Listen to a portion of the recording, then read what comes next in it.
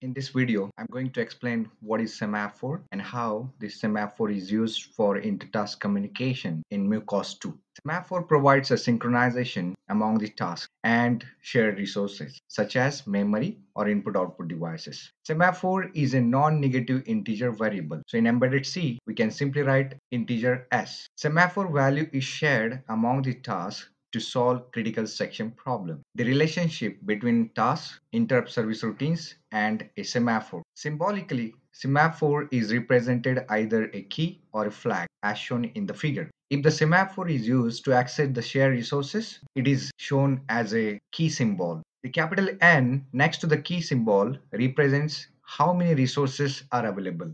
For binary semaphore, the value of n is 1. If the semaphore is used to signal the occurrence of an event, then it is represented with the flag symbol. The capital N beside the flag symbol tells us the number of times the event can be signaled. The hourglass in the figure represents a timeout. MuCOS 2 provides 8 services to access semaphore. Those services are enlisted here. Out of these 8 services, we mainly focus on 3 services, OSSemCreate, creating a semaphore, OSSemPend, waiting on a semaphore, and OSSemPost, signaling or releasing a semaphore. There are two types of semaphore, binary semaphore and the counting semaphore. If we use the semaphore to access a single shared resource, we need to initialize the semaphore to 1. Shown in figure, if the semaphore value is 1, it means the resource is available. And if the semaphore value is 0 the resource is not available. So in program we can write same equals to OSSemCreate and the value passed to this function is 1 so this is how we can create the binary semaphore.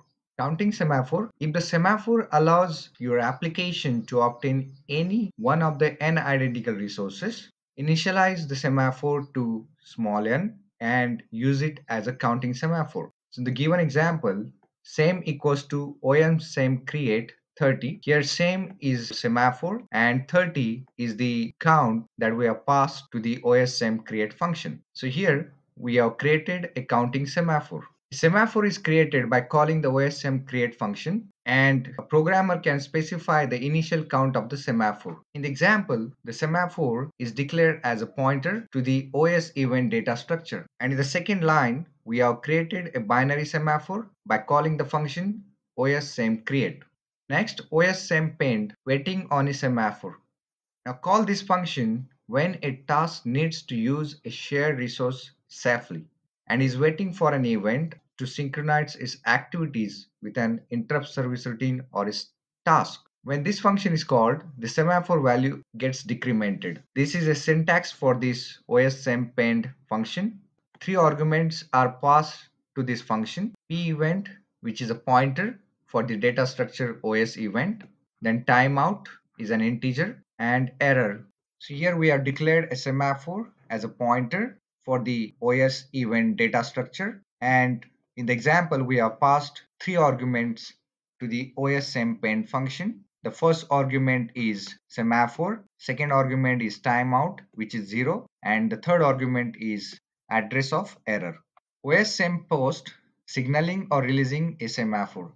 This function will signal or release the semaphore so that the another task can obtain it. When this function is executed, semaphore value is incremented. This is syntax for OSSemPost An input argument passed to this function is pointer for the data structure OS event. So here we have written OSSemPost and the value passed is semaphore. Now let us see the embedded C program for binary semaphore by using the Keil software. So in the project window, we have created three folder, app folder, MuCOS folder, and ARM folder. The ARM folder will take care of the ARM hardware configuration files. Also, it includes library files and header files. App folder is our application. Now we are going to write a program for binary semaphore. So we'll go to the main.c file, open it. So this is a program for binary semaphore. Now let me explain you this program. In the beginning, we have included three header files, config.h, standard library.h, and serial.h. Then we have created the stack T1 and T2 having the size 100. These stack are declared as type OS_STK. We have declared a semaphore here as a pointer, data structure OS event, After that, this is task 1 and this is task 2. So in the task 1, we have called the function OSSemPend with three input arguments. OSSemPend will acquire the semaphore. After that, it will print the value and after printing the value, the semaphore will be released so that the another task can use it. And OS time delay HMSM. So here the task 1 will be suspended for 100 milliseconds. Similarly in task 2, OSM pend. So this function will acquire the semaphore then print the B character, then release the semaphore and task 2 will be suspended for 200 milliseconds. Inside main we have created the binary semaphore by passing the value 1 which means the shared resource is available. So save this program, translate, build and rebuild. Go to the start and stop debug session. OK. Go to the UART window. Select UART 1 and now run the code. So you can see here, as per the program logic, task 2 has the highest priority.